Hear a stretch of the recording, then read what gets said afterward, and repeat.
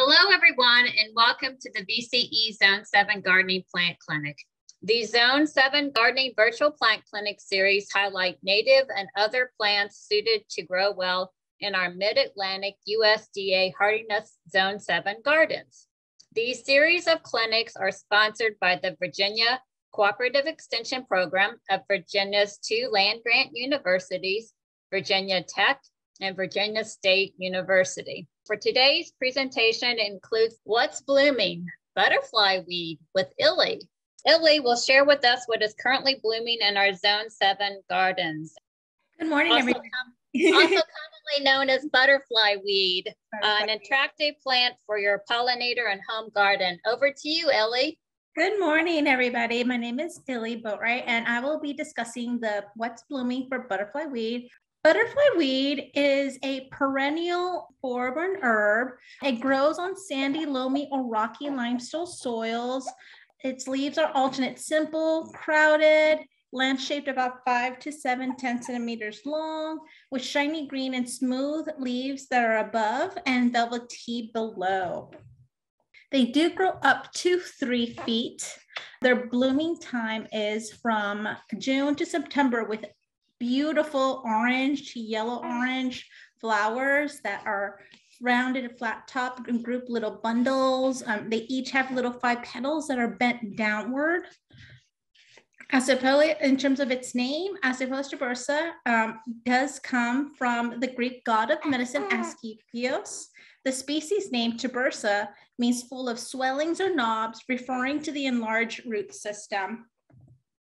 In regards to its fruit, its fruit is a pod that contains numerous little fluffy brown seeds, each with a tuft of silky um, white hair. If you open them up, they, they love to just flutter around. Super, super awesome and fun for little kids to go ahead and grab. The best site and climate conditions, it is a native perennial wildflower. It's cold hardy and it does grow from plant hardiness zones from three to nine. It light requirements does it, it does vary and it allows us to be able to grow it on several areas like from part shade, but it does thrive in full sun. For the water and soil requirements, it does prefer, prefer dry, well-drained soil. You want to definitely go ahead and water young transplants until they are established. Once they are established, this would allow it to become drought tolerant. In terms of benefits to wildlife and insects and pollinators, butterfly weed, which also has been known to be called sugarweed or orange milkweed by common names, it is a, a, native perennial that does attract butterflies and pollinators. So it is essential in a pollinator garden. If you want to do it, um, you utilize it for this sort of use, you do want to go ahead and use 12 or more plants in your garden in order to be able to use it for that purpose. Now, while the sticky sap, the white sap is bitter, does warn away most animals and insects. It is the larva host plant for the monarch butterfly, as well as other butterfly species.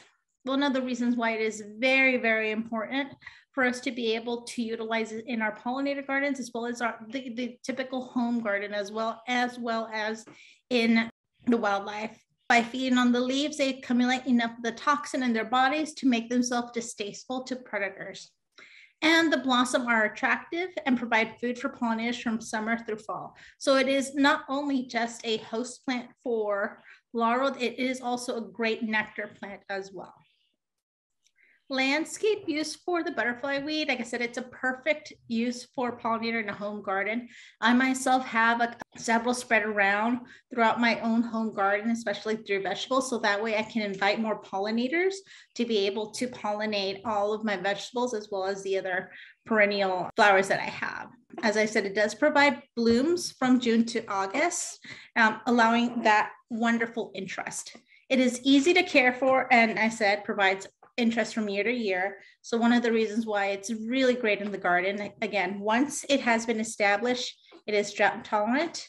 You want to choose a permanent spot that receives full sun and has well-drained soil. Much like other native prairie plants, the butterfly weed does form a long, deep taproot, so that would make transplanting difficult. If you want to go ahead and grow them from seed, I would just recommend to use the long composting peat pot pots so that way you can easily just plant them into your garden without having to disturb that taproot. Unfortunately, it is susceptible to the oleander aphids. So you want to do pest control as per the pest management guide using mechanical controls or the assistance of beneficial insects. For companion plants, as it is a, a, wildlife prairie plant, it does complement such in your pollinator home garden that you want to pair with perennials or annuals that have the same needs of full sun and well-drained soil. Um, some of the examples are a little blue stem, the whorled coreopsis, and the butterfly bush.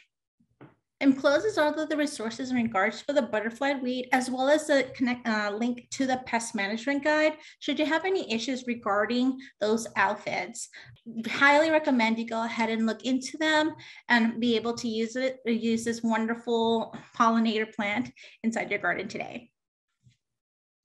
Thank you, Ellie. What a great plant to attract monarch butterflies and other butterflies uh, to your pollinating garden. I didn't realize that you needed like 12 of them to really attract the, the monarchs, but hopefully I have enough of other things planted in my pollinating garden to attract them. Our garden tips for June. Be sure to apply organic mulches such as wood chips, composted leaves, pine bark to as the soil warms and these will conserve the moisture, discourage weeds, and then the compost will also decay and enrich the, the soil. And it also controls the temperature around the plants.